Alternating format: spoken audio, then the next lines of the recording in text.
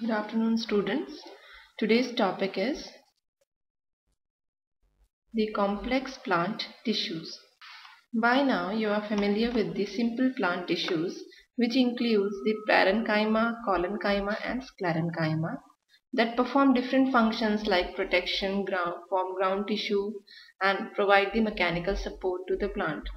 Now, in case of simple tissues, they are composed of single type of cells, whereas the complex plant tissues can be defined as the collection of different cells that function as a single structural unit unit to perform a specific function and the examples include the xylem and phloem tissues.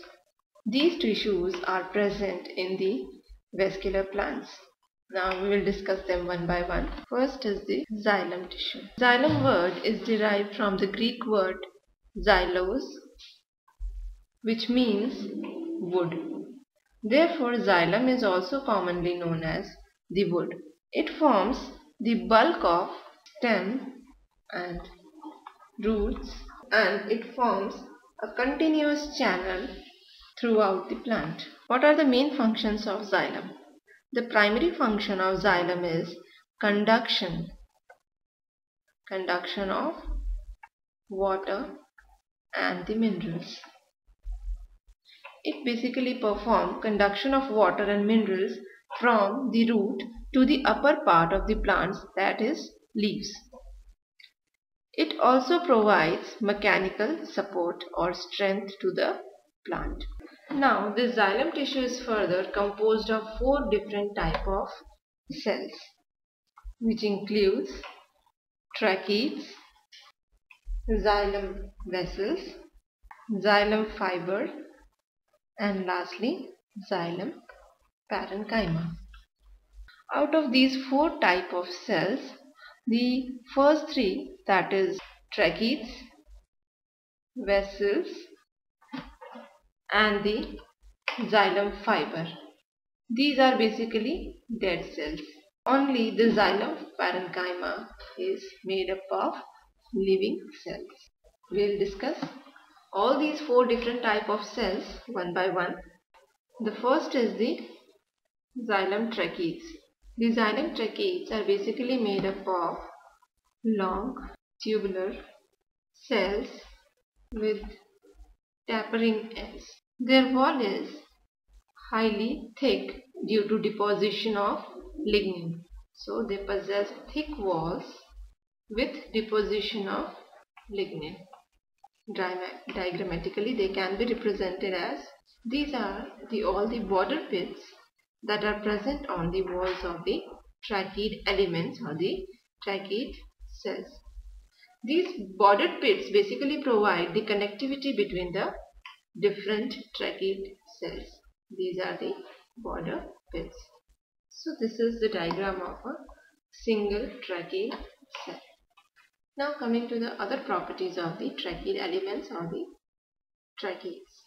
They appear rounded or polyhedral in the transverse section or cross section. This means when we cut the transverse section of a uh, tracheid element, it will appear either rounded like this or polyhedral like this. So this is the cross section view of a tracheid cell. These tracheid elements form long column when placed one above the other. These tracheid elements develop various types of secondary thickening and on this on and on that basis they can be of different types which are as follows. The first type is annular thickening. The blue color is representing the thickening of the lignin. This is the example of annular thickening or it can be also called as ring like thickening. Now the second category is of spiral thickening. It is also known as helical or helix like thickening. The third category is, is of reticulate thickening. This is the reticulate thickening or also known as it forms a crisscross network. Fourth type of thickening is this is the scalariform thickening. This type of thickening forms a ladder-like pattern. Then the last category is of the pitted thickening. It is of further two types. Simple pitted that is the walls are having simple pits for the connection between the two different trachea elements or between the different xylem elements. The second category is the bordered pit. The simple pits and the bordered pits are somewhat different in their structures. So they are categorized into two different groups. This is the trachea element with simple pits. This is with bordered pits. Both of these are together called as pitted tracheids. Now where these uh, trachees are present? These tracheids are mainly present in the pteridophytes, gymnosperms and few angiosperms.